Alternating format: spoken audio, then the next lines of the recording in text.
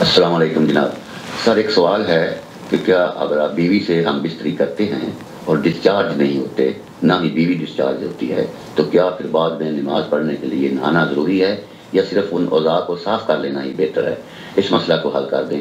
دوسرا، اگر وہ ڈسچارج ہو جاتا ہے تو پھر بھی وضو ضروری ہے۔ سوال یہ ہے کہ کیا بغیر ڈسچارج ہوئے تمام بدن کا نہانا ضروری ہے نماز کے لیے وضو کے لیے؟ سر، یہ ایکسپلین کر دیں، بڑی مہربانی نحمد نصلی علی رسول الکریم اما بعد. یہ غالباً جرمن سے ہمارے پاس انہوں نے میسج کیا ہے اور ان کا جواب میں نے دیا۔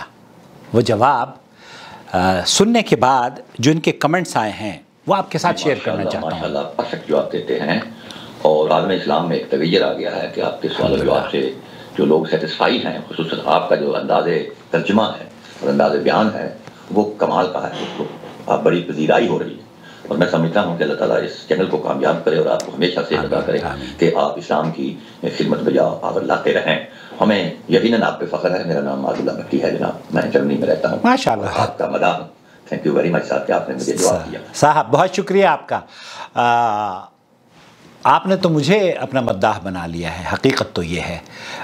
میرے لیے بڑی سعادت کی بات ہے کہ میں اپنے بہن بھائیوں کے کام آتا ہوں اور سعودی عرب عرب اور عجم کے درمیان یہ چینل برج کے طور پر کام کر رہا ہے۔ اللہ کا شکر ہے، اللہ تعالیٰ اس ملک کی حفاظت فرمائے، سعودی عرب کے علماء کی اور مشائق کی اللہ تعالیٰ حفاظت فرمائے اور اس اسلام کے قلعے کی اللہ رب العالمین حاسدوں کے حسد سے، نظر بد سے حفاظت فرماتا رہے۔ ان کے سوال کا جواب میں نے کیا دیا تھا، آپ بھی یقیناً جاننا چاہتے ہوں۔ گے لے کر چلتا ہوں میں آپ کو، سماحت شیخ عبدالعزیز مفتی مملکت سعودی عرب کی محفل میں۔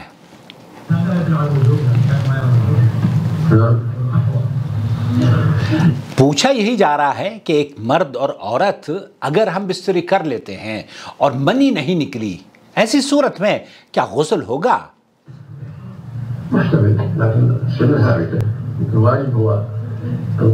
الواجب ہوا الغسل۔ جی ان پر واجب یہ ہے کہ انہیں غسل کرنا چاہیے۔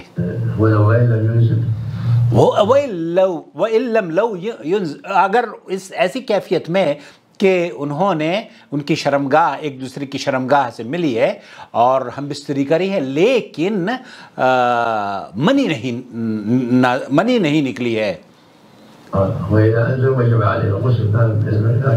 اگر اس میں تو کوئی اختلاف ہی نہیں ہے۔ اگر منی نکل گئی ہے تو اس پر غسل واجب ہو گیا ہے۔ یہ تو جمی ہے، سب کا موقف ہے۔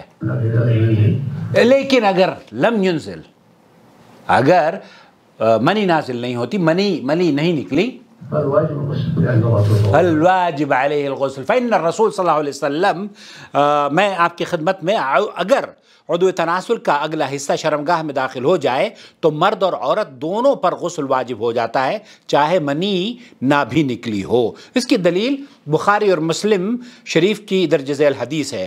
حضرت ابو حریرہ رضی اللہ تعالیٰ عنہ بیان کرتے ہیں کہ رسول اکرم صلی اللہ علیہ وسلم نے فرمایا، جب مرد عورت کی چاروں شاخوں کے مابین بیٹھ جائے اور پھر کوشش کرے تو غسل واجب ہو جاتا ہے۔ اس حدیث کو مسلم شریف کی روایت میں یہ الفاظ زیادہ ہیں، چاہے انزال نہ بھی ہو۔ تو مسلم شریف میں یہ الفاظ موجود ہیں کہ چاہے انزال نہ بھی ہو۔ صحیح بخاری حدیث نمبر 291 اور صحیح مسلم حدیث نمبر 348 پہ۔ ابن قدامہ رحمۃ اللہ علیہ کہتے ہیں کہ اس مسئلے میں فقہ کرام وجوب غسل پر متفق ہیں۔ صرف داؤد ظاہری سے بیان کیا جاتا ہے کہ وہ واجب نہیں کہا کرتے تھے۔ اور دوسری بات، خاوند اور بیوی ایک دوسرے سے جس طرح چاہیں استمتاع کر سکتے ہیں۔ لیکن حیض کی حالت اور پاخانے والی جگہ سے اجتناب کرنا ہوگا اور اس میں مشت زنی بھی شامل ہے۔ یہ بھی مرخص اور استعمال میں یہ مشت زنی اور پیچھے کی شرمگاہ سے لذت حاصل کرنا، اس کے اندر جمع کرنا، یہ بھی جائز نہیں ہے۔ کیونکہ اللہ تعالیٰ قرآن کریم میں فرماتا ہے المومنون پانچ، چھ اور وہ لوگ جو اپنی شرمگاہوں کی حفاظت کرتے ہیں، مگر اپنی بیویوں اور لونڈیوں پر اس میں انہیں کوئی ملامت نہیں۔ لیکن مرد یا عورت اپنے ہاتھ سے مشت زنی کرے، یہ جائز نہیں ہے۔ تو خلاصہ کلام میرے بھائی، میرے عزیز، میرے دوست، یہ ہوا کہ آپ اگر بیوی سے ہم بستری کسی نے کی ہے اور منی نہیں نکلی ہے، تو منی نکلے یا نہ نکلے۔ غسل واجب ہے۔ البتہ غسل واجب، ہمارے پاس دہلی سے ایک سوال آیا ہے، میں آپ کی خدمت میں اگلی آڈیو یا ویڈیو میں پیش کروں گا۔ وہ یہ کہتی ہیں کہ جب منی ناپاک نہیں ہے، تو پھر اس کے نکلنے سے خود بخود جیسے کہ احترام ہے، خود بخود اگر نکل جائے تو پھر غسل کیسے واجب ہو جاتا ہے؟ تفصیل اگلے جواب میں، اگلی ویڈیو میں۔ السلام علیکم ورحمۃ اللہ وبرکاتہ۔